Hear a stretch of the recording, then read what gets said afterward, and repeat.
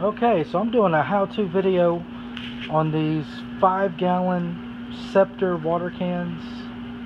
Uh, should I say Scepter style water cans that have pressurized water.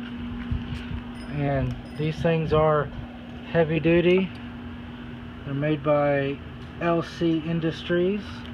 You can buy them on their website, buylci.com, I believe. And these things are obviously watertight. And if you really tighten them up, you can get them airtight. And I just wanted to show you what I did.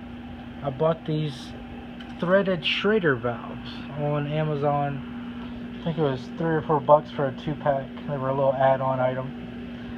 And um, I just drilled a hole. I ended up using the 2164th um, size drill bit. And it was a little bit smaller than the threaded part which is good because you get a really tight seal. And it's a 7 16th around right here.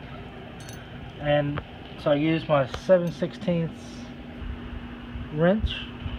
And then to put pressure on the top I just used a little one that uh, I was able to put some downward pressure so it bite in and screw in.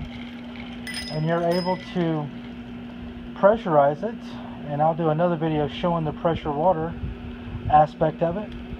But there it is. This is we're going to have pressurized water on the Jeep while we're overlanding